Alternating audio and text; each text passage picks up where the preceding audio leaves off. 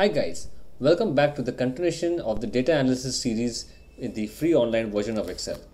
Now we have come quite far away. We have seen how to do data analysis using the aggregate function. We have seen how to dynamically filter data, how to augment the data using the XLOOKUP function. So we have seen three very important functions, aggregate, filter and XLOOKUP function.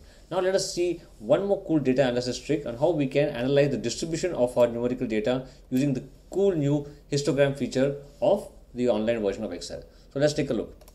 Before we begin, do not forget to subscribe to my channel for the latest of data analysis in Python, Pandas and Excel. Let's dive right into it. So I'm going to select the numerical column and here I'm going to insert. I'm going to select the histogram. This is, earlier we used to create histograms you know manually by using a column chart and having you know uh, like creating our bins uh, you know ourselves. Now we can directly select the cool histogram feature and you can see it has generated my histogram for me. Now let's move this to the right and play around with this with this more. Okay.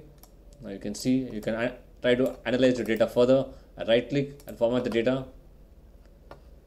Okay. And let's see if, if we can get more insight from the data. Okay so I'm going to select the series. And here for the bin value I'm going to select the bin width.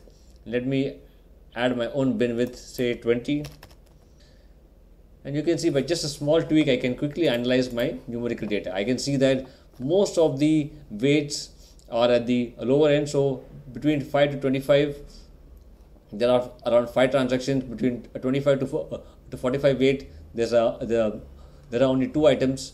Between 45 to 65 there's only one. And there's only one come between 65 to 85 so the weights in the higher range are very few and the weights in the lower range are a lot more so this data uh, you can see it is skewed to the right as it has a very long right tail. If you want to understand more of histograms, do let me know. I'll make a detailed video on that on how you can analyze your statistical data using histograms. If you like this video, leave a like and do not forget to subscribe to my channel for the latest of Python, Pandas and Excel. Leave a comment on my video as well. Thank you.